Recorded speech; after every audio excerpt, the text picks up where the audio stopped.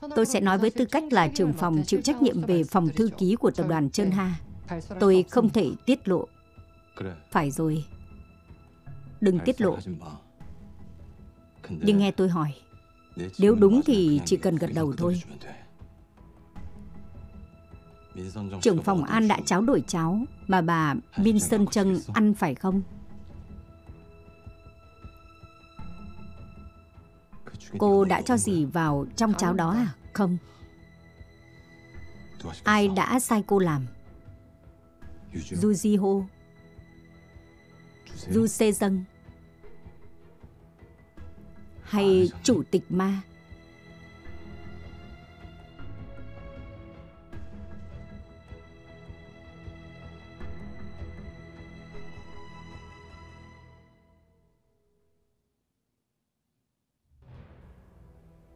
Sơ Du Kiêng tin rằng cái chết của Min Sơn không phải là tự sát mà là bị giết.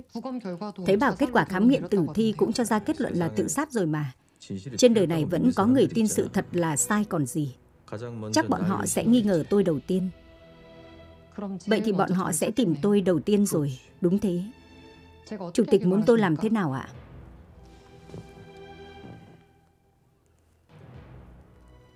Cứ nói đúng sự thật. Dạ, nói ra người đã sai cô cháo đổi cháo. Chủ tịch nói thật chưa ạ? Vậy tôi sẽ nói là Chủ tịch Yujiho sai rồi làm ạ. Không tinh ý gì cả. Sau lưng tôi có ai nào? Luôn có bà tôi còn gì? Chủ tịch Ma Hiền Đức.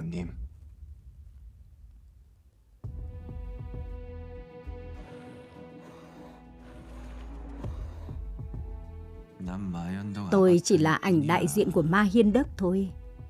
Hiện tại chủ tịch thực sự của tập đoàn Trơn Ha cũng là Ma Hiên Đức.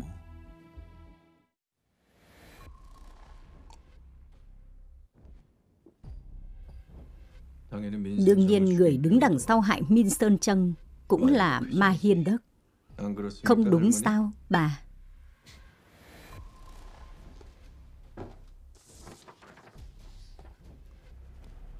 Di Trúc chỉ định cháu nội Du Di Hô là người thừa kế của công ty cổ phần tập đoàn Trơn Ha, mà người lập Di Trúc đang điều hành và thừa kế những tài sản sau. 60% bất động sản mà người lập Di Trúc đang sở hữu.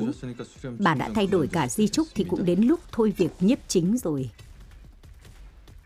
Giờ thì bà giao tập đoàn Trơn Ha cho cháu đi. Bà nên tận hưởng quãng đời còn lại chứ.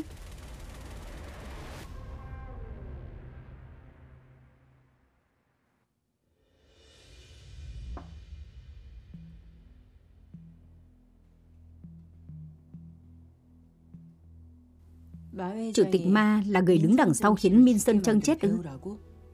Đúng vậy. Làm sao cậu có thể chắc chắn khi nghe mỗi lời của trưởng phòng An? Trưởng phòng An, à An Hy Dân là đàn em khóa dưới của tôi thời đại học. Cô ấy vẫn coi tôi là sư phụ. Không lý nào cô ấy lại nói dối tôi. Lý do cậu tin tưởng như thế là gì? Chẳng phải phó chủ tịch đã nói phải tin họ thì họ mới tin mình hay sao? Đúng rồi. Thử tìm hiểu kỹ phía chủ tịch Ma đi. Tìm hiểu xem có thành phần thuốc nào có chất độc nhưng không lưu lại trong cơ thể không. Nếu có thì tìm hiểu xem chủ tịch ma lấy thuốc đó từ đâu. Vâng, tôi biết rồi.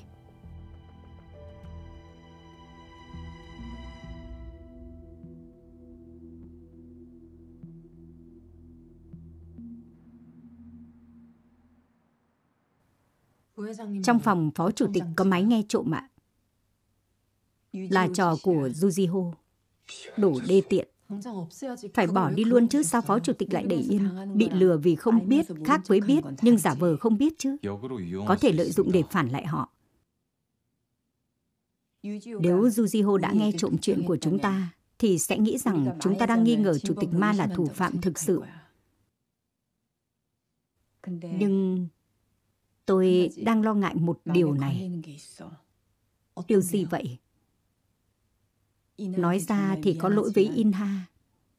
Nhưng trường hợp xuất hiện chứng ảo giác do thuốc điều trị thần kinh mà không phải ma túy là cực kỳ hiếm.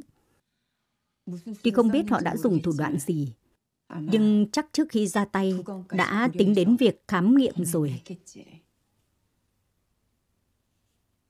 Vì thế, tôi nghĩ là nên yêu cầu khám nghiệm tử thi cô Min Sơn Trân lần hai. Khám nghiệm lần hai ạ? À? Bằng mọi giá phải làm sáng tỏ cái chết oan ức của mẹ cậu chứ. Phó Chủ tịch, Phó Chủ tịch đã thấy anh In Ha khổ sở như thế nào rồi mà vẫn định làm việc khiến anh ấy đau lòng ạ.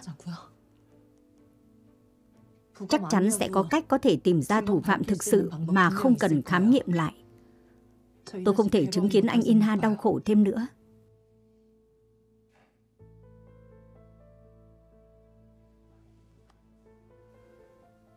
Làm đi Jesus. Quyết định thế đi. Tôi đồng ý làm sáng tỏ vì mẹ tôi. Thì ra vì thế mà hồi còn sống, mẹ tôi bảo chôn mẹ ở nơi có phong cảnh đẹp. Mẹ tôi quả là biết nhìn xa trông rộng. Anh Inha. Rồi nhỡ không ra kết quả gì thì sao? Nếu vẫn ra cùng một kết quả, thì là làm khổ người mẹ đã mất hai lần đấy. Không sao đâu Jesus. Mẹ anh là người có thể bất chấp tất cả vì anh. Mẹ sẽ hiểu cho anh. Là con trai của mẹ. Bằng mọi giá, anh sẽ giải nỗi oan ức của mẹ. Anh Inha. Bin Sơn Trân, cô dạy con khéo quá. Cô không cần lo lắng cho Inha đâu.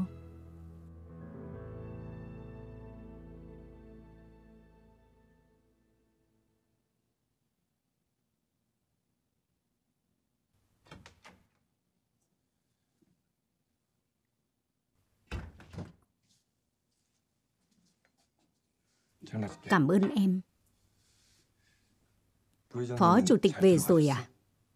Vâng. Vừa nãy em giận lắm đúng không? Nói thật là em chưa hiểu Phó Chủ tịch lắm. Có lúc em thấy bà ấy chu đáo vô cùng, có lúc lại thấy lạnh lùng như băng. Em đừng ghét bà ấy quá, Hesu. Có nhiều lúc anh cũng thấy mẹ anh chưa chín chắn. Nhưng giờ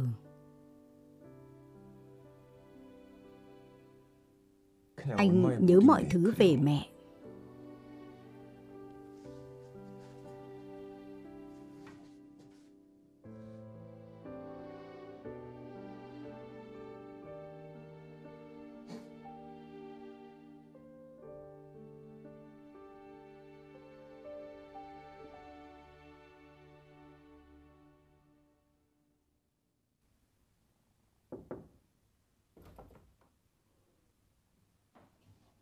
Bà gọi cháu ạ. Ngồi đi.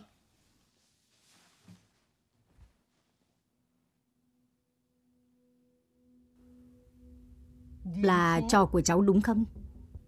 Tự dưng bà nói gì thế ạ? Mẹ Inha làm con dâu của bà mấy chục năm rồi. Chí ít thì cô ta sẽ không đưa ra lựa chọn hấp tấp như thế trước mặt con mình đâu. Chẳng phải bà đưa cho cháu rồi bảo cháu dùng khi thật cần thiết hay sao? Thế à? Đó là tình huống cần thiết sao? Đúng rồi ạ. Không lẽ bà lo ngại về Inha?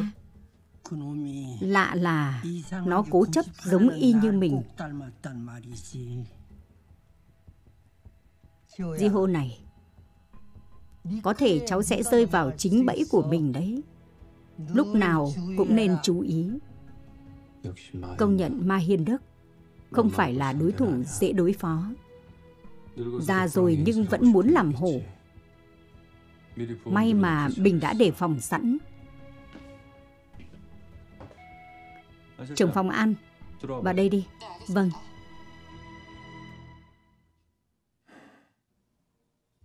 Vẫn còn chuyện muốn nói à?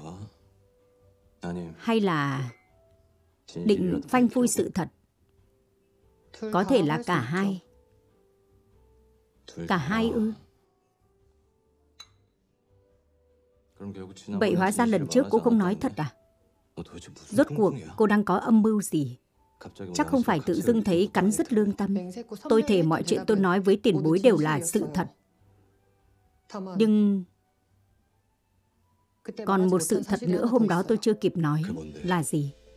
Cháu mà phó chủ tịch mang tới cũng không phải cháu bình thường đâu. Cô nói gì?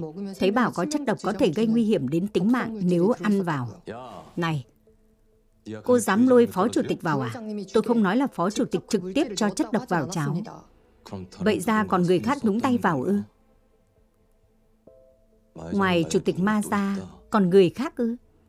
Với lại lúc đi mua cháo, tôi đã thấy cô Cho Dê Sơ của công ty Poison.